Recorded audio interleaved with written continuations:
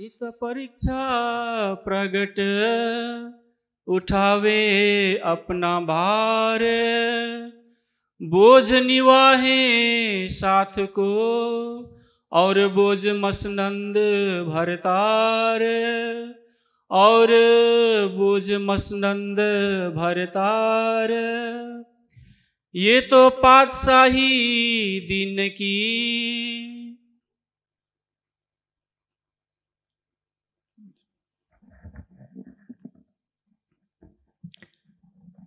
प्राणेश्वर अक्षरातीत ने श्री महामती जी के धाम हृदय से इस कीर्तन ग्रंथ के प्रकरण में एक निर्देश दिया है कि जो सुंदर साथ में अग्रगण्य हो, उनको कैसा होना चाहिए।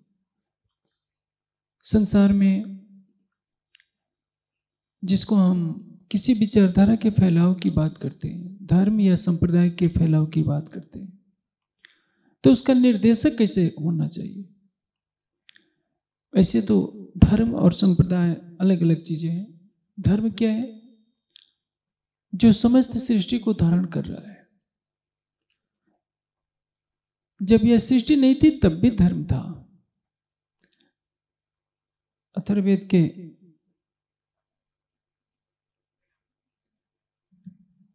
अंदर चौदहवें कांड का शायद पहला मंत्र होगा। कहा गया है, सत्यन उत्पिता भूमि। पृथ्वी किससे टिकी हुई है? सत्य से टिकी हुई है। सत्य क्या है? सत्यम जानम अनंतम ब्रह्म। जो सत्य है, वही ब्रह्म है। सांचारी साहेब, सांच सो पाइए, सांच को सांचे प्यारा।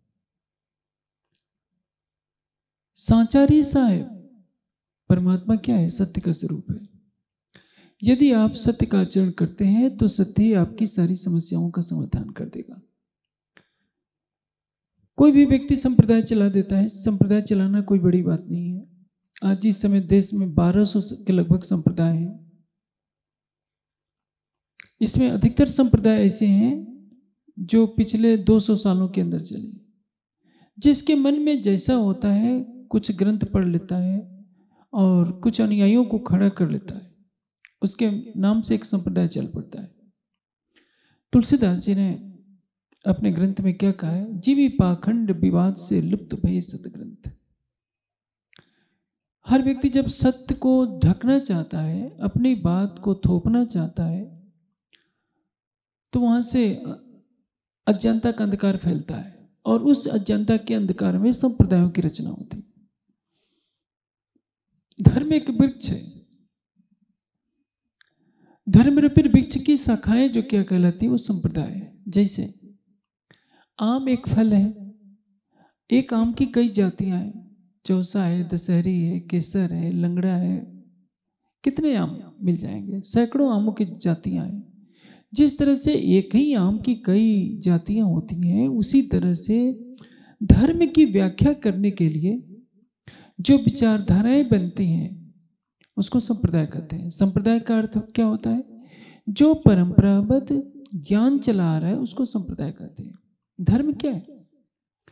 चौदना लक्षण अर्थो धर्म है। जो कुछ वेद में कहा है, वह धर्म है। वेद किसको कहते हैं? सत्य ज्ञान को कहते हैं। जो सत्य है, वह धर्म है। जो धर्म है, वही सत्य है। यदि कोई भी कथन सत्य के विपरीत है तो वो धर्म का कथन नहीं है। संप्रदाय का कथन हो सकता है। जैसे वैष्णव संप्रदाय क्या कहेगा? कि शालिग्राम की पूजा करनी चाहिए, यही हमारे परमात्मा है। शिव शैव संप्रदाय कहेगा कि नहीं?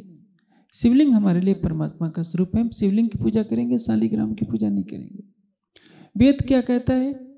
न शालिग्राम की पूजा करो, न शिवलिंग की पूजा करो, क्योंकि वेद सम्मत नहीं है।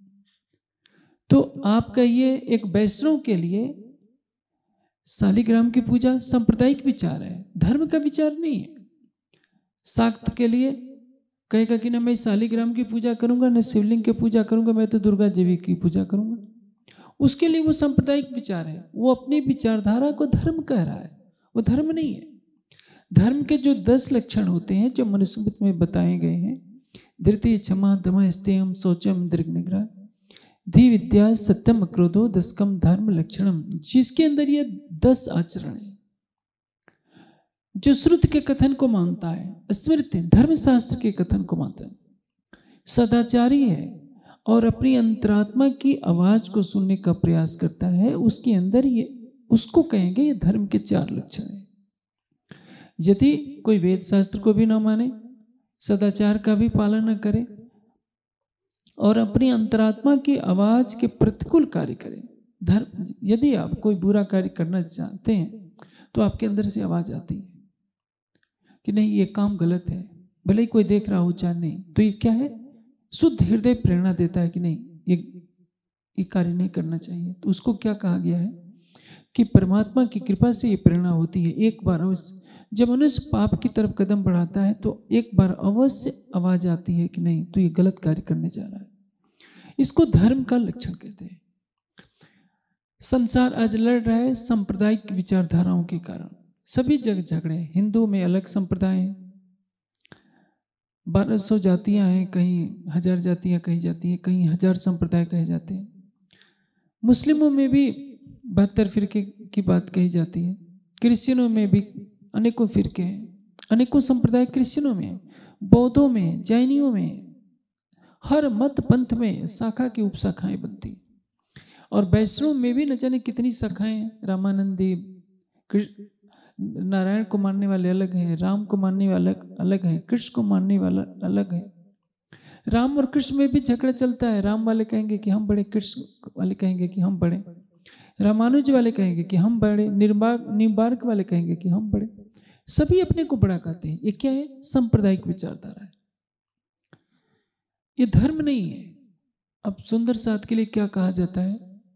सोई सुहागिन धाम में जो कर से इत रोशन तौल मोल दिल माफक देसी सुख सबन।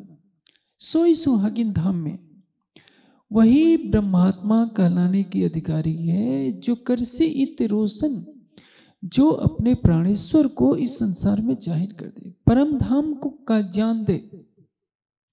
यह संसार कहाँ भटक रहा है? अज्ञानता के अंधकार में। संसार में किसी को पता नहीं है कि चौदह लोग का ये जो ब्रह्मांड है ऐसे ब्रह्मांड जैसे समुद्र में असंख्यों पानी के बुलबुले उगते हैं, डूबते रहते हैं, उसी तरह से इस निराकार के अंदर असंख्यों चौदह लोगों के ब्रह्मांड पैदा होते हैं और डूब जाते हैं। न जाने कितनी गैलेक्सियाँ इससे उत्पन्न हो रही हैं, फिर इसी में विलीन हो जा रही है। मनुष्य इसका और छोड़ नहीं जान सकता। निराकार के परे क्या है? ये कोई बताने वाला नहीं हुआ। ब्रह्मशिष्ट का उत्तरदायित्व क्या है? जो यह दर्शा दे कि हो मेरी वासना, तुम चलो अगम के पार। अगम पार अपार पार तहाँ है तेरा करार? इस निराकार के परे बेहद है, बेहद के परे अक्षर है, और अक्षर के परे अक्षरातीत है। कबीर जी ने सत्य को दर्शाया इस संसार में। सब दरवाजे खोजे, कबीरे, बैकुंठ शून्य सब देखा आखिर जाए के प्रेम पुकारिया, तब जाए पाया लिखा सब कुछ खोजा। रामानंद जी से दीक्षा ली। लेकिन उनके अंदर अक्षर की आत्मा है। बैकुंठ से परे उन्होंने गति बनाई। निराकार से परे गति बनाई। इसके पहले क्या होता है? अव्याकृत के सुख का प्रतिबिंब निराकार में पड़ता है और बड़े बड़े योगी जो ही हिमालय में कई कई दिन की समाधियाँ लगाते हैं, वो भी निराकार में जाकर रुक जाते हैं। इस निराकार महाशून्य से परे क्या है, कोई नहीं जानता। चौदह तबको, वका का, कोई बुल्लिया न, एक हरफ। कोई नहीं बता सकता कि चौदह लोगों की इस ब्रह्मांड और से परे जो निराकार है, उस अनंत निराकार से परे क्या है? वेद ने संकेतों में कहा, लेकिन उसके अर्थ को कौन जानेगा? जो समाधि अवस्था में पहुँचा हुआ ऋषि होगा, वह जानेगा। बुद्धि से इसका आंकलन नहीं किया जा सकता। बुद्धि न विचेषते मनुष्य की बुद्धि तो एक सीमित दायरा रखती है।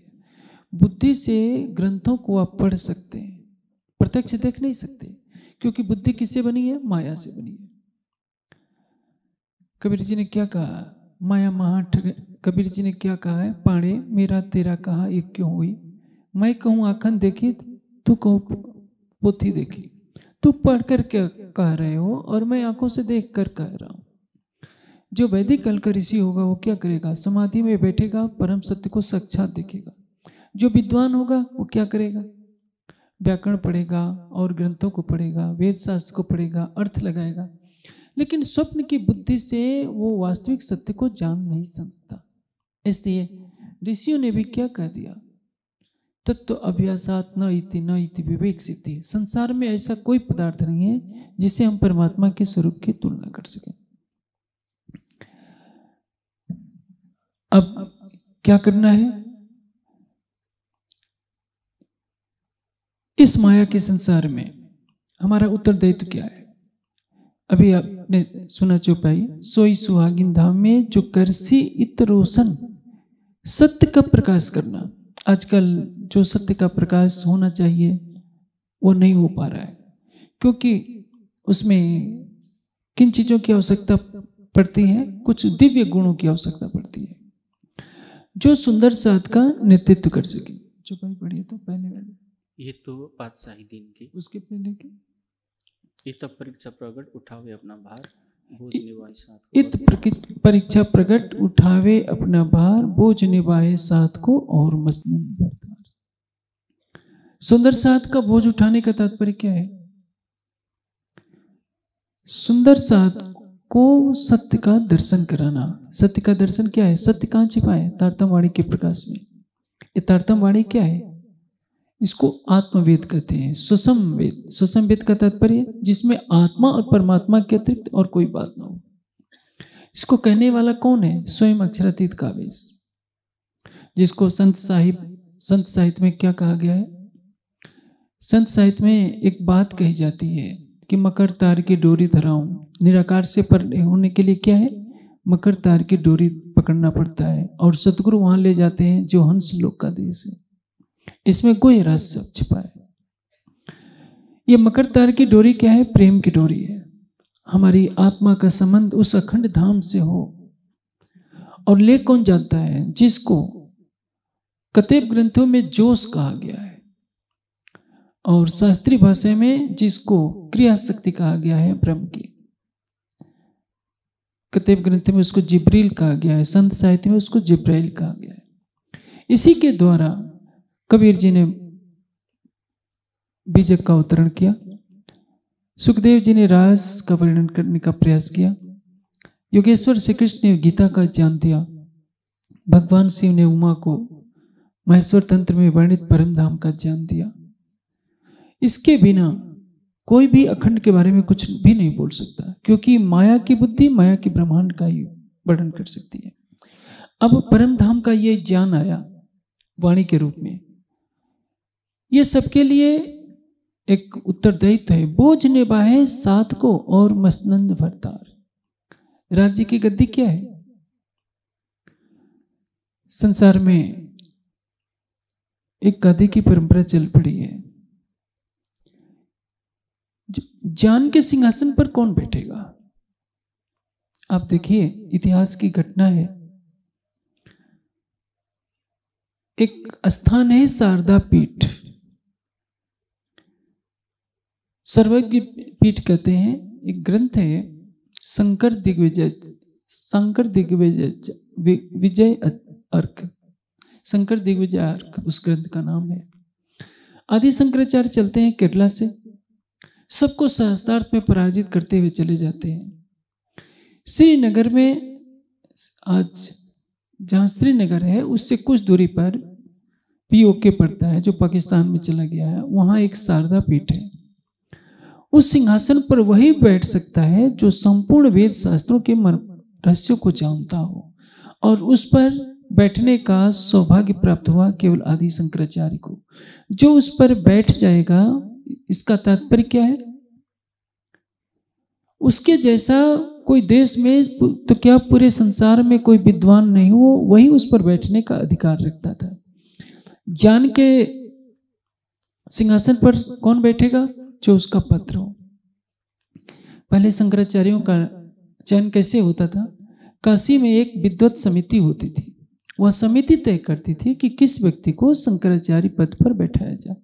आजकल तो जिसके पास बाहुबल है धन बल है, वो अपने जोड़ तोड़ करके जैसे राजनीतिक गतियाँ होती हैं, राजनीतिक पद होते हैं, उसी तरह से शंकराचार्य का पद भी बट गया है। मंडलेश्वरों का भी पद इसी तरह बट गया है। हमारे सुंदर साथ में भी तो ऐसे ही होता है। धर्म का नेतृत्व कौन करता है? जिस पर ट्रस्टियों की कृपा हो जाती है वही।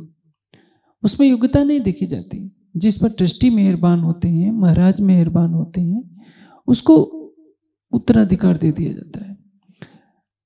बोझ निभाए सात को और मसनंद भरतार। राज्य की गति क्या है?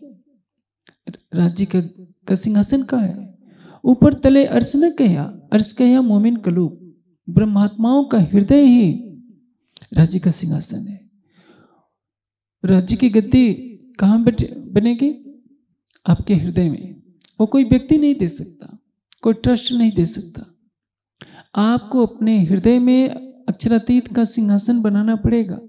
और अपने हृदय में यदि आप राज्य की शोभा को बसा सकते हैं तभी आप बोझ निभाए साथ को। सुंदर साथ का बोझ वहन कर पाएँगे। सुंदर साथ का बोझ वहन करने का तात्पर्य क्या है? माया के अंधकार से परे ले जाकर उनको परम धाम की पहचान कराने का ये उत्तरदायित्व तो सबसे बड़ा है। जब श्री जी बैलगाड़ी पर बैठकर जा रहे थे तो किर, क्या किरंतन उतरा था? धोरी रामा मुके तारी दूसरी वाटडे विस्मी रे गाड़ी बाहर पड़ी। रेतीली धरती है।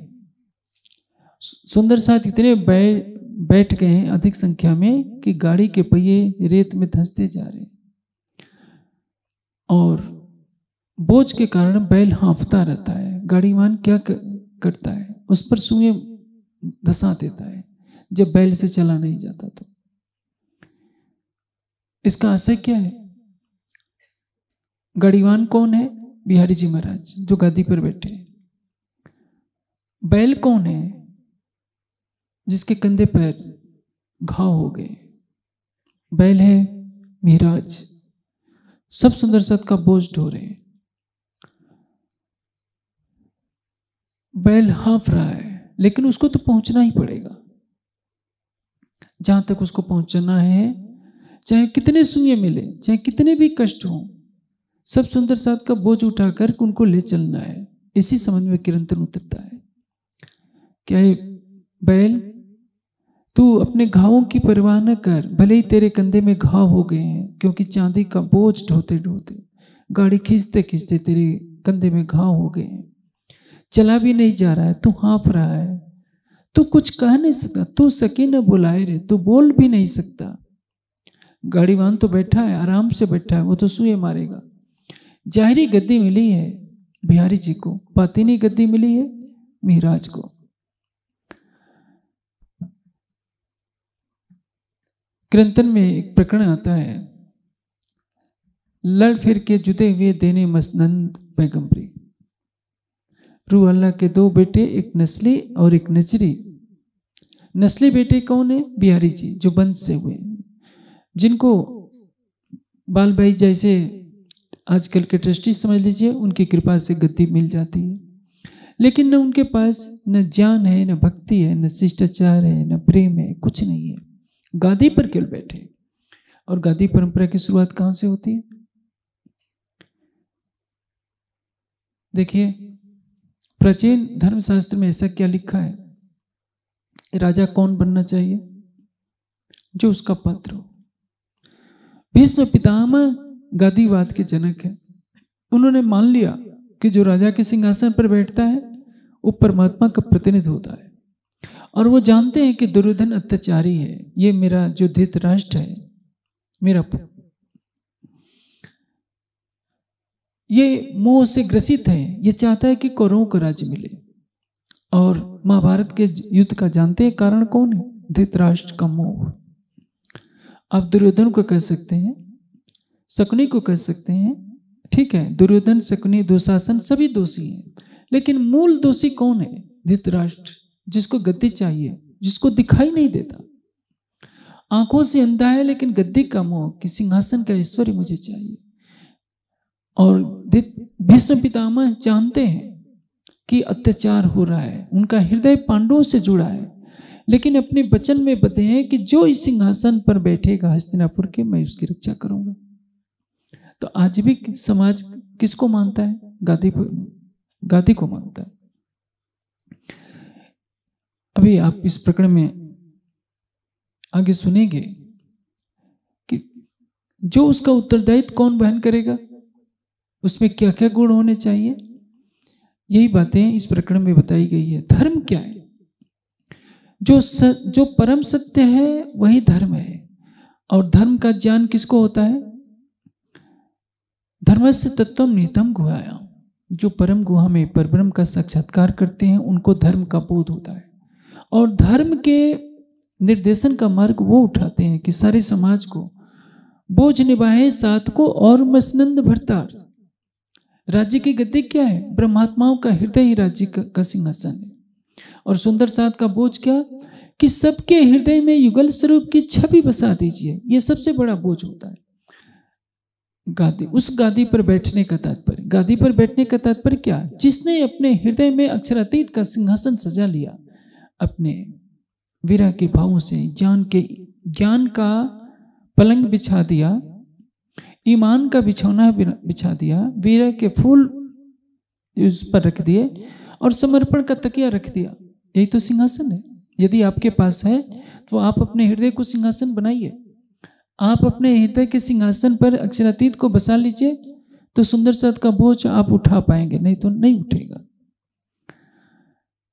अभी मैं कह रहा था भीष्म पितामह का यदि मोह नहीं होता तो ये महाभारत का युद्ध नहीं होता। भीष्म पितामह का जो सिद्धांत था कि इस सिंहासन की मैं रक्षा करूँगा धर्म की रक्षा नहीं उन्होंने मुख से वचन दे दिया तो उसी को उन्होंने धर्म माना। यही सबसे बड़ी भूल होती है। आज भी यही होता है जो गद, किसी स्थान से जुड़ा होता है वो सोचता है कि हम इस स्थान से जुड़े हैं तो उसी स्थान को प्राथमिकता देंगे। वाणी क्या कहती है? उसकी प्राथमिकता नहीं। हमें किस पर चलना चाहिए? जो अक्षरातीत का कथन है। अक्षरातीत परम सत्य है। उनकी वाणी परम सत्य है। इसलिए वाणी के कथन के विपरीत किसी का भी कथन माने नहीं हो सकता चाहे वो कितना भी व्यक्ति प्रभावशाली क्यों ना अब क्या कह रहे हैं?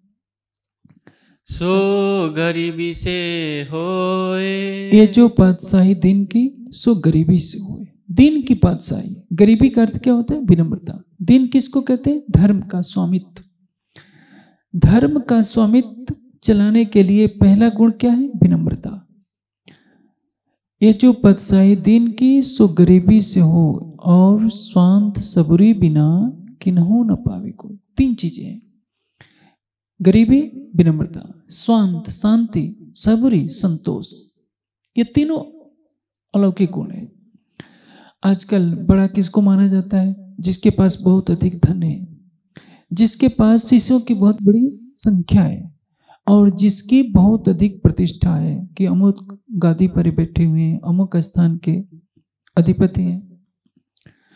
कोई भी व्यक्ति किसी स्थान पर बैठकर अधिपति तो हो सकता है, लेकिन धर्म का सिंहासन उसको नहीं मिलेगा। बोझ निभावे सात को और मसनंद भरतार मैंने पहले ही कहा कि उत्तराधिकारी होने की शर्त क्या होनी चाहिए? मसनंद भरतार, राज्य की गद्दी उसको मिलनी चाहिए, जो मेहराज को मिले। बिहारी जी को नहीं। बिहारी जी तो ज़ाहिर रुई की गद्दी पर बैठ गए थे। आजकल रुई की गादी का महत्व हो गया है। बातिनी गादी, जो आत्माओं का दिल है।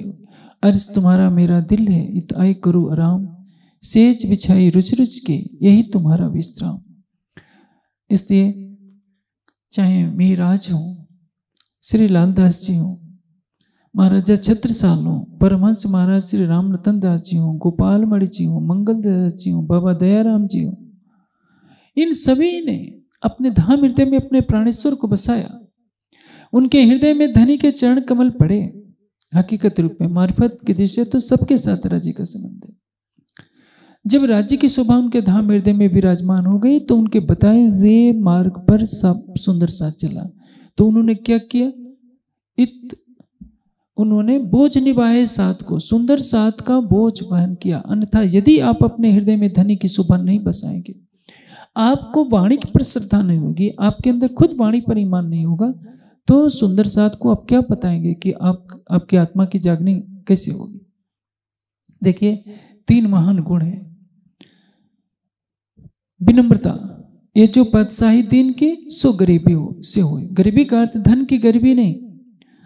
जानते हैं, जिस वृक्ष में जितने फल लगते हैं, वह वृक्ष उतना ही झुका होता है, उसकी डालियाँ झुकी होती है। आप मुर्गे को देखते हैं, नीचे खाएगा तो किस तरह से अकड़ा रहता है? ज्ञानी की पहचान क्या है? विवेकवान की पहचान क्या है? उसके अंदर सबसे अधिक विनम्रता होती है। संसार में सबसे बड़ी क्रांति किसने की? जो सबसे अधिक विनम्र हुआ, उसने संसार में क्रांति कर दी। महावीर स्वामी को देखिए, तपस्या कर रहे हैं। एक हल, किसान आता है, वो पूछता है हलवा था कि मेरा बैल किधर गया? महावीर स्वामी मौन व्रत में है। वो कैसे बोलते? उसने क्या किया कि लकड़ी उनके कान में ठोक दी, कील ठोकने से उनके कान से खून बह रहा है, लेकिन कूफ नहीं कर रहे आप बताइए, उनकी जगह आप होते तो क्या करते?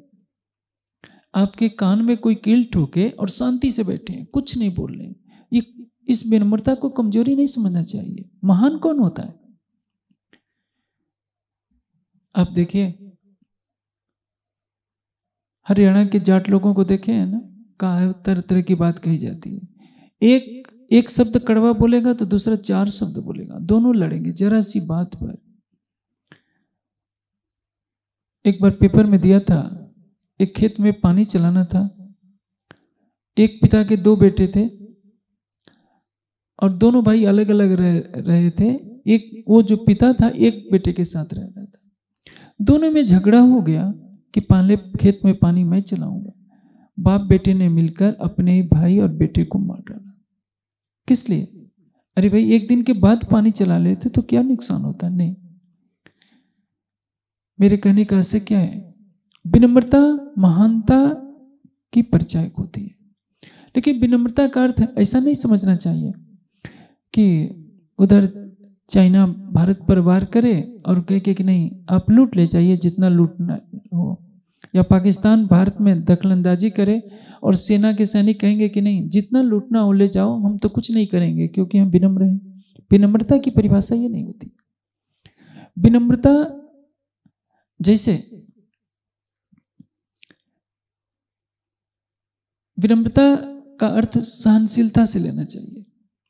यदि आपको कोई कट वचन बोलता है तो आप में सहनशीलता होना चाहिए कि उसके कट वचनों को बिना व्यथित हुए सहन कर ले। यदि आप में सहन की, करने की क्षमता है तो समझ लीजिए आपने संसार को जीतने में एक बहुत बड़ी महारत हासिल कर ली। मन की उद्विग्नता ही तो मानव की कमज़ोरी है, किसी भी प्राणी की कमज़ोरी है। मन के हारे हारिए, मन के जीते जीत, पार ब्रह्म को पाइए, मन ही के प्रति मन ही देवे सत्साहिबी मन ही करे फजीत। आप सोचिए, मन हमारी इंद्रियों का राजा है। हम इन इंद्रियों के वशीभूत होकर अपनी आत्मिक शक्ति को तो खोते रहते हैं। जीवा स्वादिष्ट पदार्थों का सेवन करना चाहती है, आँख रूप देखना चाहती है, त्वचा कोमल स्पर्श पाना चाहती है। कान मधुर ध्वनि सुनने के असिक बन चुके हैं और नासिका सुगंध लेना चाहती है। संसार के सारे सुखों को इन पाँच विषयों में बांटा जा जा सकता है। और इन्हीं पाँचों विषयों को पाने के लिए मन व्याकुल रहता है। यदि हर व्यक्ति इन पाँच विषयों पर निमंत्रण कर ले, अपने मन को जीत ले तो सारे संसार को जीत ले सकता है। मन जीते, जग जीत। सुखदेव को देखिए, बुद्ध को देखिए, शंकराचार्य को देखिए, दयानंद को देखिए। अपने समाज में जिन जिन परमहंसों को देखिए, समाज उनके कहने पर क्यों चला? वो अपने साथ चार चार बॉडीगार्ड नहीं रखते थे। परमहंस महाराज श्री रामरतन दास जी जंगलों में अकेले भ्रमण करते थे। कोई भी परमहंस होता है, अकेले भ्रमण करता है। क्योंकि सिंह तो हमेशा अकेले भ्रमण करेगा, उसको क्या डर है? जिसने अपने मन को जीत लिया है, संसार में उसको कौन पैदा हुआ है मारने वाला? बुद्ध के सामने देवदत्त एक भयानक हाथी छोड़ देता है, शराब पिलाकर। बुद्ध सामने से हाथी को देख रहे हैं। वो हाथी था, किसी को भी कुचल कर मार सकता था। सामने आता है। और जानते हैं, एक योग में एक सिद्धि होती है, मैत्री, करुणा, मुदिता, उपेक्षा। मैत्री भावना में आप मन को रोक दीजिए तो उसका बैर समाप्त हो गया। बुद्ध ने अपने आत्मबल से मैत्री भावना की और हाथी के अंदर के वैर को समाप्त कर दिया। हाथी चरणों में गिर पड़ा। देवदत्त बुद्ध को तीरंदाजों से मरवाना चाहता है। जो भी बाण तीर, धनुष धनुर्धर छोड़ते हैं, वो बुद्ध के चरणों में आकर गिर जाते हैं। बुद्ध के ऊपर कोई असर नहीं पड़ता। अंगुलिमाल मारना चाहता है। बुद्ध की मैत्री की भावना इतनी प्रबल है कि उनके हृदय में निर्विकारिता है। बुद्ध स्वप्न में भी किसी का बुरा नहीं सोच रहे हैं। विषयों से परे हो चुके हैं तो ऐसे व्यक्ति को कौन मार सकता है? देवदत्त सारे प्रयास करके भी बुद्ध को मार नहीं पाता है। एक तरफ़ बुद्ध क्या है? उनकी सुरक्षा के लिए कोई नहीं है। और दूसरी तरफ़ अंगुलीमाल है, जो नौ सौ निन्यानवे व्यक्तियों की हत्या कर चुका है। उनकी अंगुलियों की माला बनाकर गले में पहना है। और अपनी माँ को कहा था कि देखो, यदि तुमने, यदि शाम तक कोई और नहीं मिला तो तुम्हारी गर्दन काटकर तुम्हारी उंगलियों की माला बनाकर पहनूँगा। और वो अंगुलिमाल भी बुद्ध के चरणों में नतमस्तक हो जाता है। कौन सी शक्ति है बुद्ध के पास? यही मैत्री की शक्ति है। यदि आप का कोई अहित करना चाहता हो, आप किसी के भी अहित की भावना न रखिए। आप पर कोई पत्थर मारता है, आप सहनशीलता लाइए। मोहम्मद साहब को कोई बुढ़िया कूड़ा फेंकती थी, लेकिन मोहम्मद साहब के मन में घृणा पैदा नहीं हुई। तो परिणाम क्या हुआ? आज मोहम्मद साहब को दुनिया जानती है। महावीर स्वामी को गाली देने वाले कभी महान नहीं बने। बुद्ध को संसार जानता है, गौतम, दयानंद को संसार जानता है, क्योंकि दयानंद ने सबकी गालियाँ खाई। चौदह बार जहर दिया गया, लेकिन जो जहर देता है, उसको भगा देते हैं कि तुम नेपाल भाग जाओ।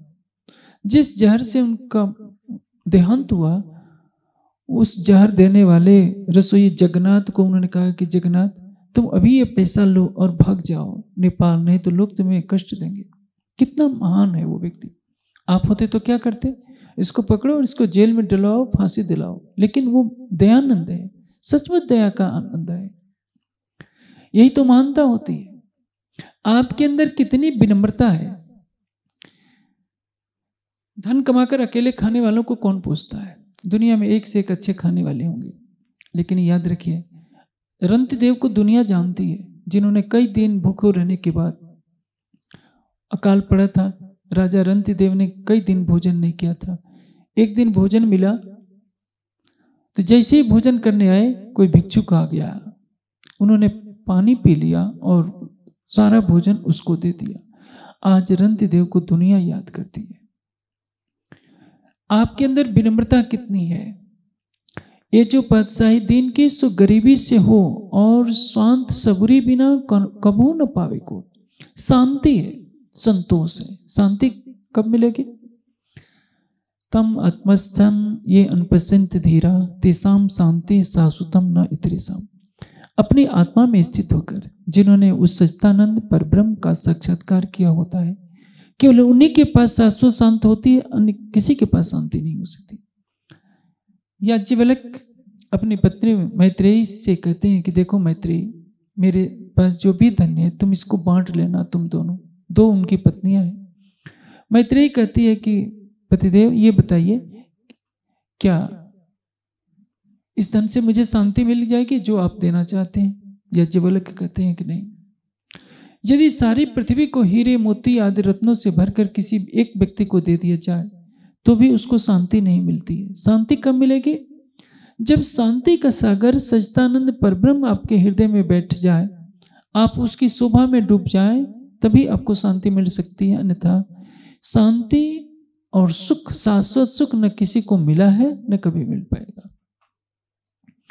कपिल जी तो डंगे की चोट पर कहते हैं कि सृष्टि में जिसने परमात्मा के प्रेम में अपने को नहीं लगाया, जिसने परमात्मा का साक्षात्कार नहीं किया उसको न कभी शांति मिल सकती है, न कभी मिलेगी। न कभी उसको सुख मिला है, न कभी मिल पाएगा। इसलिए विनम्रता, शांति और संतोष।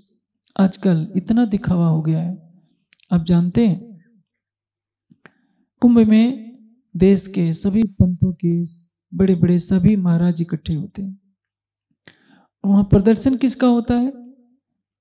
कि किस महाराज के जयकारे लगाने वाले ज़्यादा हैं? भाड़े पर वहाँ स्वयंसेवक और शिष्य बना लिए जाते हैं। और वो अधिकतर जो मठाधीश होते हैं, जानते हैं किस पर चलते हैं? उनकी सवारी निकलती है, रथों की सवारी होती है। और उनको जैसे राजा महाराजा के छत्र लेकर के चलते हैं, उन बड़े बड़े कुंभ के मेले में बड़े बड़े जो महंत होते हैं महाराज होते हैं, उनके आगे छत्र लेकर के चलना चलते हैं लोग। क्या दिखाते हैं? मनुस्मृत में किसी भी स्मृति में नहीं लिखा है कि सन्यासी को छत्र और चवन लेकर के चलना चाहिए। छत्र और चवर किसका श्रृंगार है? ये तो राजाओं का श्रृंगार है। सन्यासी के लिए छत्र और चवर नहीं है। उसके लिए तो करतल भिक्षा, तुरतल वास है। बुद्ध को देखिए, पैरों में खड़ाऊ तक नहीं। बुद्ध ने जब संन्यास लिया, अपने राशि वस्त्र उतार दिए, अपने बालों को काट डाला, अपने वस्त्र, आभूषण सब दे दिया। और जीवन में कभी पैरों में खड़ाऊ तक नहीं पहनी नंगे पैर महावीर स्वामी ने तो अपने वस्त्र तक उतार दिए। बुद्ध का जन्म होता है वृक्ष के नीचे। बुद्धत्व प्राप्त होता है वृक्ष के नीचे, तन भी छोड़ा वृक्षों के नीचे। आज बुद्ध की पूजा करने वाले कितने हैं? एक तो नहीं, करोड़ों की संख्या में यदि भगवान बुद्ध भी वाजिद अली शाह की तरह जीवन बिताते तो उनको कौन याद करता? मनुष्य की महानता किससे होती है? ऐश्वर्य से नहीं।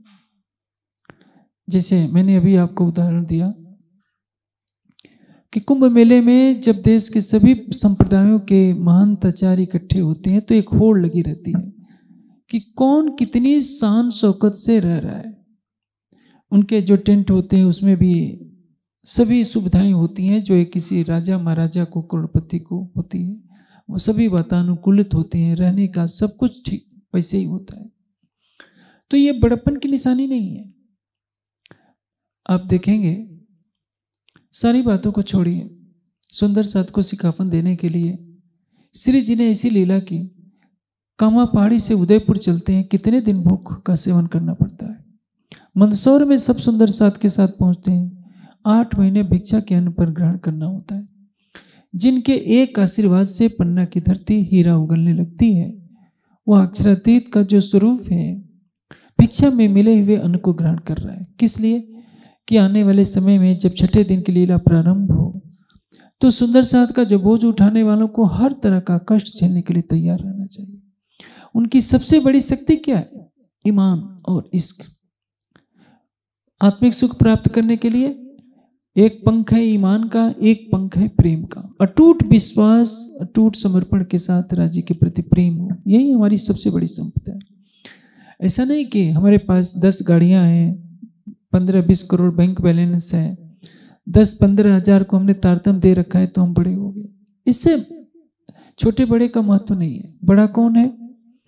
ये जो बादशाही दिन की सो गरीबी से हो और स्वांत सबरी बिना कबू न पावे को देखिए, ये तो एक खोड़ है। यदि कोई व्यक्ति साधारण सी गाड़ी में चलता है तो उसको क्या कहते हैं? ये छोटे महाराज है।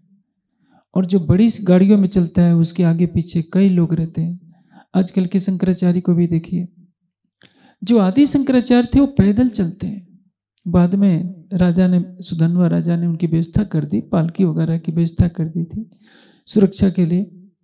अन्यथा 16 साल की उम्र में वो मनस्वी संन्यास लेकर के निकलता है केरला से। बत्तीस साल का ही जीवन होता है, लेकिन इन अगले 16 वर्षों में जो कर दिया, इन 2200 वर्षों में सारे शंकराचार्य मिलकर नहीं कर पाए। कभी वो केरला में होता है, कभी असम में होता है, कभी कश्मीर में होता है, पैदल चल रहा है। शंकराचार्य ने कभी सुख की कामना नहीं की। बुद्ध ने, बुद्ध भी चाहते तो अपने महल से कुछ भी मंगवा सकते थे, लेकिन नहीं। जब अपने घर जाते हैं, यशोधरा से मिलने के लिए, क्योंकि उसको शांति देनी है, उनके पिता आते हैं सोचते हैं कि सिद्धार्थ लंबे समय के बाद मिला है, राजमहल में अच्छा भोजन कराऊँगा। एक भिक्ष, भिक्षा में एक फल मिलता है और बुद्ध उसी को खा करके कहते हैं कि नहीं, आज तो मैंने भोजन कर लिया, कल कल करूँगा। सुदर्शन को लगता है कि मेरा बेटा जो कभी राजा बनना, बनने के लिए था, आज भिक्षा मांग रहा है। बुद्ध क्या कहते हैं कि ये तो ये हमारी परंपरा ही है। जो बुद्ध होते हैं, वो भिक्षा पर ही गुजारा करते हैं। बुद्ध के आशय, कहने का आशय क्या है? जो सन्यासी है, उसके लिए माया का सुख महत्वपूर्ण नहीं है, उसके लिए महत्वपूर्ण क्या है? भर्तृहरि ने बहुत अच्छा वर्णन किया है। धैर्य धैर्य पिता क्षमा माता।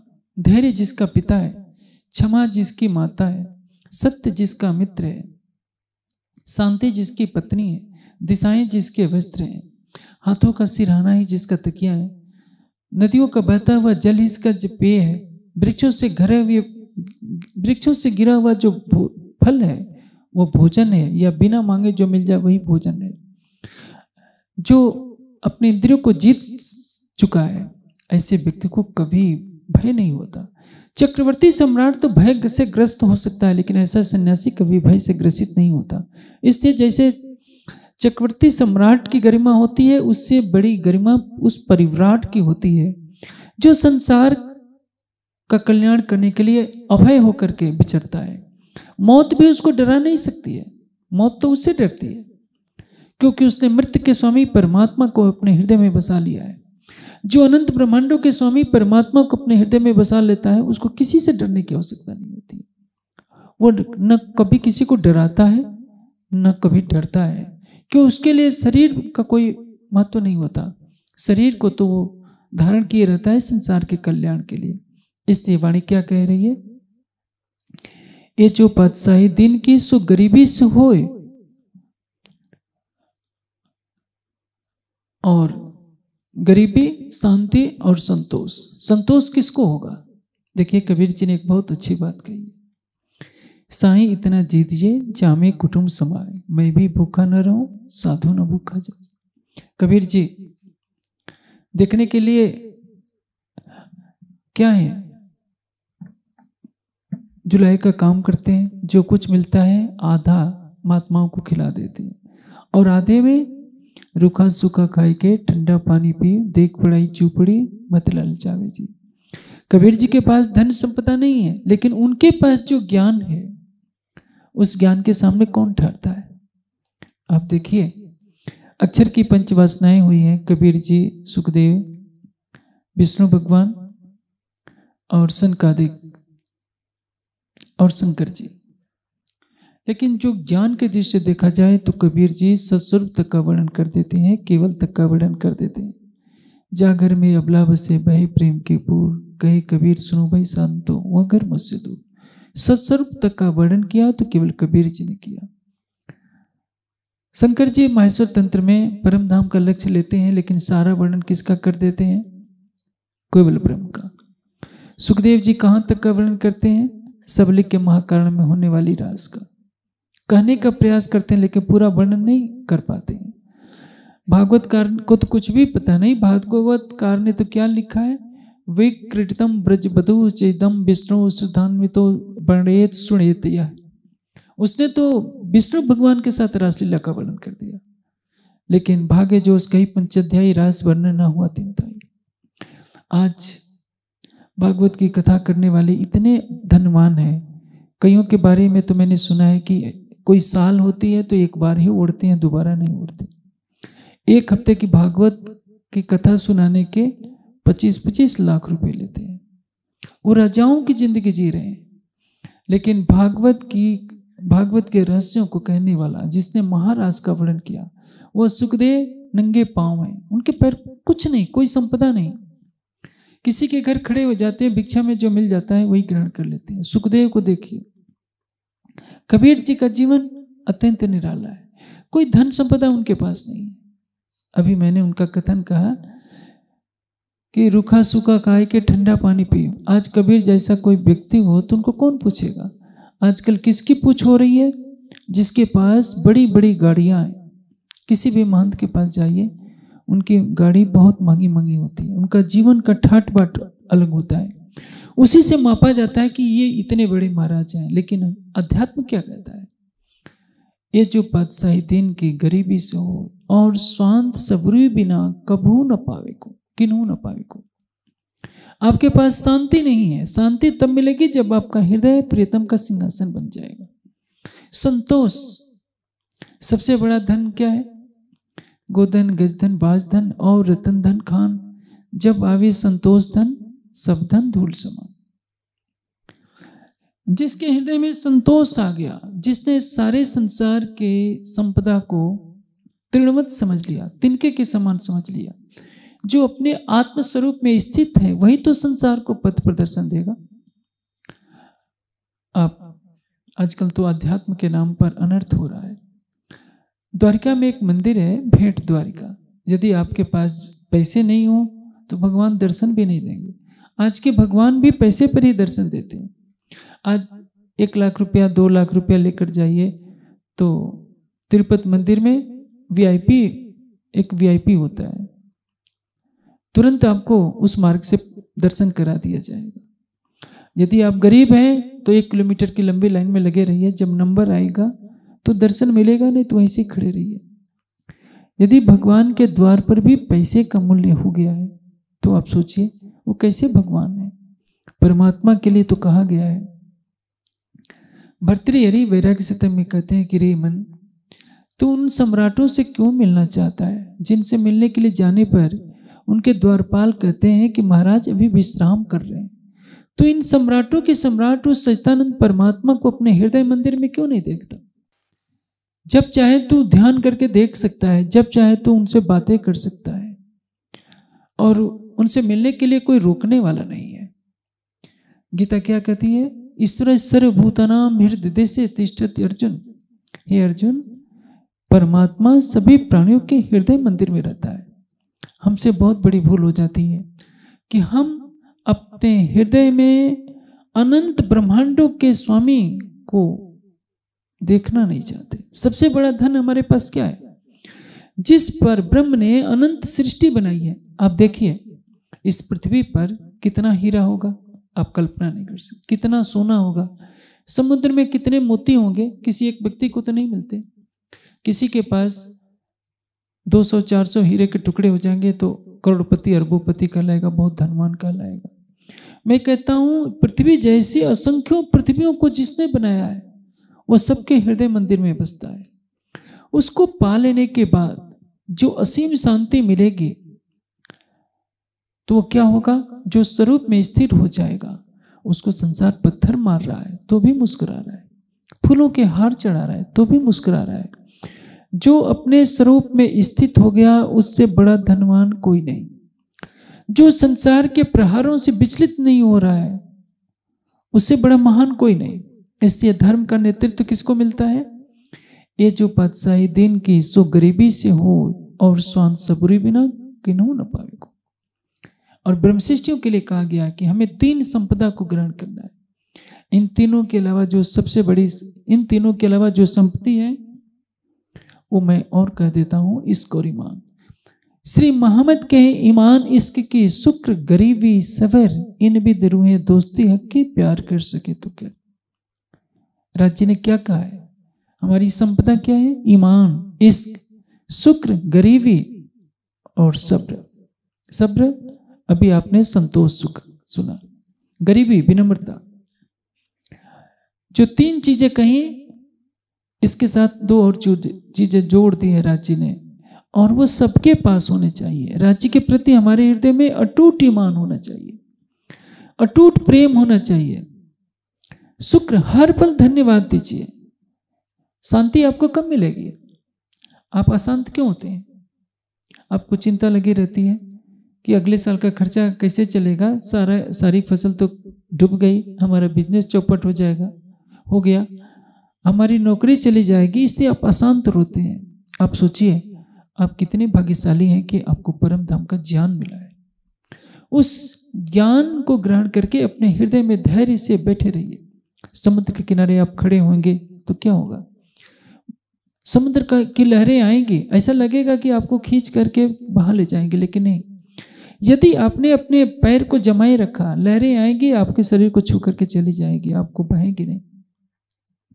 आपके पास अटूट समर्पण का बल है, अटूट ईमान का बल है तो माया क्या करेगी?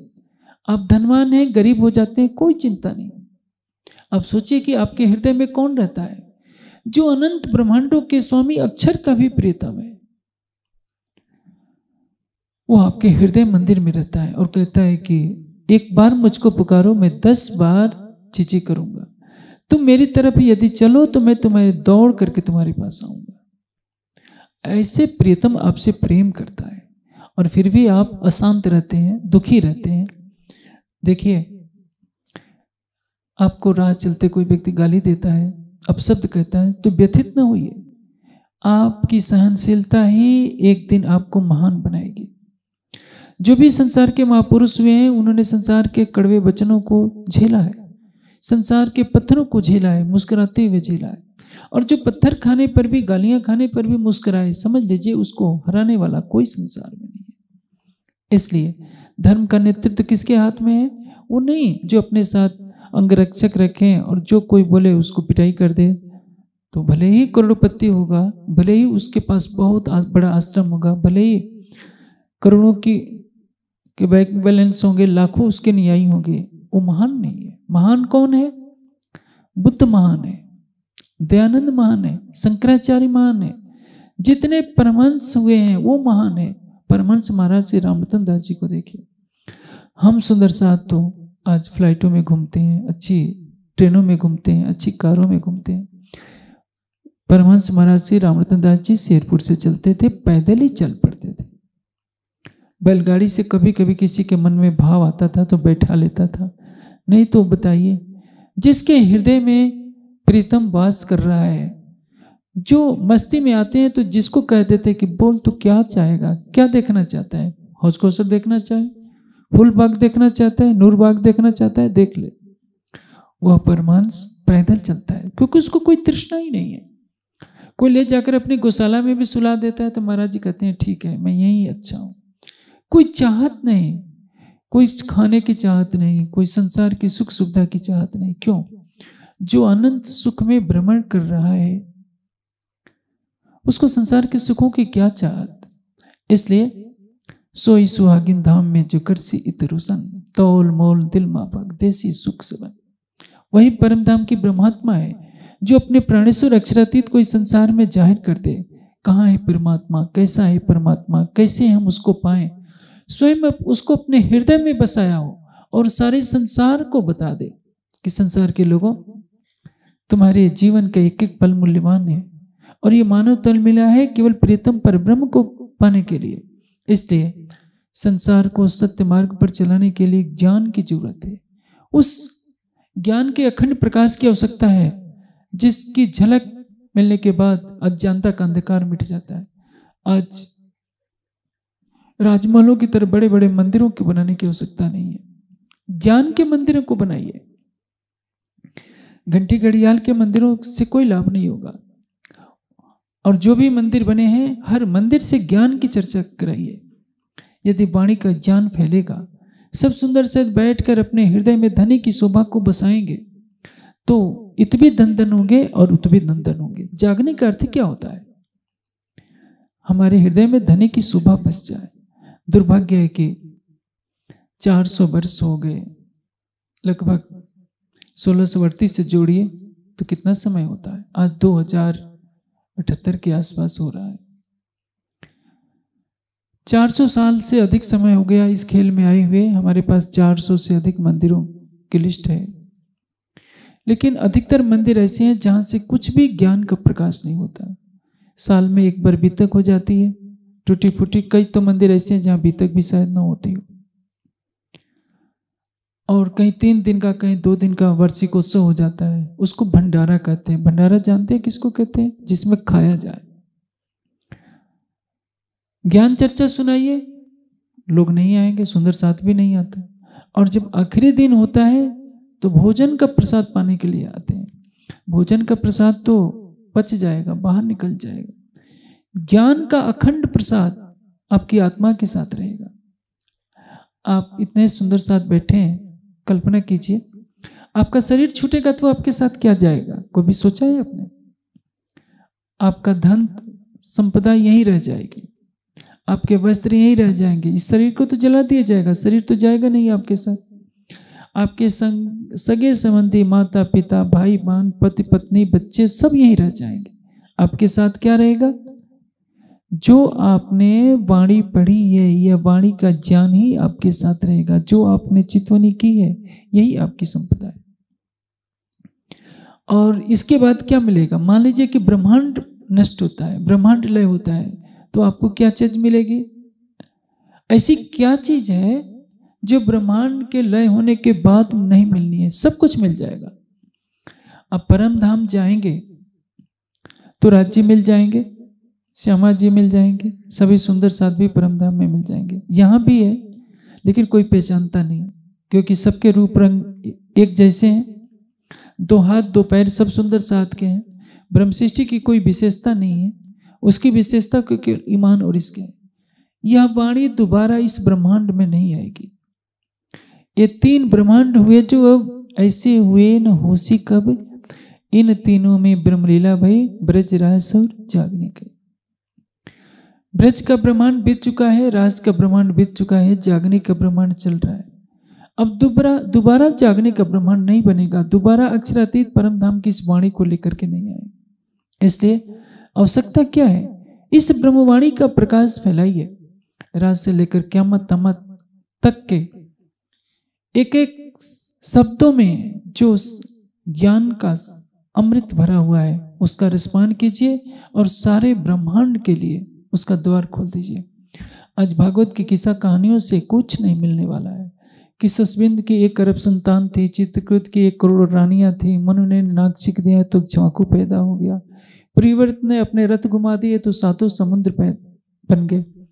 जब समुद्र थे ही नहीं तो पृथ्वी कहाँ से बन गई? और नाक की छिक से इच्छवाकू कहाँ से पैदा हो सकता है? ये सारे किस्से कहानियाँ, गपोड़े लिखे हैं भागवत में। अब चित्रकूट एक करोड़ रानियों से विवाह करते बेचारा, वो तो एक एक रानी से विवाह में चार चार फेर लेगा तो सोचिए कितना थक जाएगा। एक करोड़ रानियाँ तो एक बहुत बड़ी सिटी होती है, कि साल में कभी किसी महारानी का नंबर आएगा, किससे बात करेगा? तो ऐसी कहानियों को सुनने से आत्मा को कुछ नहीं मिलना है। आपके लिए अक्षरातीत परम धाम का ज्ञान लेकर के आए नक से सिख तक की अपनी सुबह का वर्णन सागर श्रृंगार में किया है। और इस वाणी को 133 भाषाओं में अनुवादित किया जा चुका है जो वेबसाइट पर उपलब्ध है। जो सुंदर साथ पढ़ नहीं सकते कहते हैं कि हमारी आँखें काम नहीं करती। उनके लिए भी सुनल अवसर है कि पूरी वाणी की टीका को पूरी बीतक की टीका को सत्तर भाषाओं में वे सुन सकते हैं। आप अपने एंड्रॉइड फ़ोन से लैपटॉप से कंप्यूटर से सब सुन सकते हैं। पूरी वाणी की सुन सुन सकते हैं। गाड़ी चल, में चलते जाइए। आप लगा दीजिए अपने मोबाइल से। पूरी रास से लेकर क्यामत तमत तक की टीका सुनिए, पूरी बीतक की टीका सुनिए। एक दो भाषाओं में नहीं, जिस भाषा में चाहिए। अरबी में सुनना हो, गुजराती में, मराठी में, अंग्रेज़ी में, हिंदी में, फ्रेंच में, रसियन में, जिसमें इच्छा हो, सत्तर भाषाओं में आपको उपलब्ध है।